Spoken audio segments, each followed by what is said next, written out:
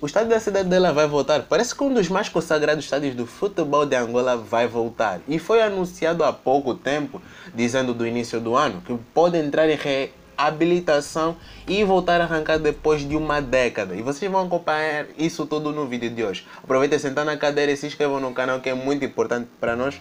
E só com teu like faz muita diferença para nós e sem mais enrolação, vamos para o que importa. Olá malta, eu sou o Alba e sejam bem-vindos a mais um vídeo. Todos sabemos que o Estádio da Cidadela é um monumento nacional, reconhecido em todo o país, sendo o estádio que mais recebeu jogos, se formos falar no requisito Palancas Negras. É um estádio que existe há mais de 50 anos na capital do país e já não vem sendo usado regularmente. E por fim se tornou sucata, mas nesse ano isso tudo pode mudar, porque o Ministério da Juventude e Desportos se pronunciou no início do ano e disse que o estádio era recuperável. Afinal, é o maior estádio de futebol do país, podendo assegurar mais de 60 mil pessoas. E é o estádio em que a Coa fez mais golos com a camisa da Angola. E sobre o local, há alguns dados demonstram que certas áreas fundamentais do estádio ainda estão completamente intactas. Exemplo disso é o primeiro andar do, da cidadela e o segundo andar, que vai precisar de mais alguns ajustes e reparações de anos após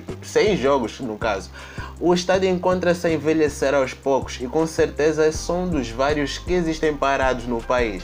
E se vocês se perguntam o que pode acontecer nos próximos meses, é que o Ministério dos Desportos pode agendar datas para um possível concurso público para encontrar mais algum pessoal para cuidar do estádio. Mas, no entanto, ainda não há data definida para o concurso e nem para o início das obras. E essa conversa sobre a reabilitação do estádio da Cidadela já existe desde abril de 2021, quando o presidente do país, lamentou sobre o fato de muitos estádios do país estarem parados e o chefe executivo até entende que o estádio é responsabilidade do Estado de reconstruir. E depois disso tem se encontrar outra entidade capaz de gerir e render receitas para que sustente o próprio estádio. Até o momento que o roteiro do vídeo sai, o estádio encontra-se parado na mesma. Mas aí, o que é que achas que vai acontecer com a nossa cidadela nos próximos tempos? Coloca aí nos comentários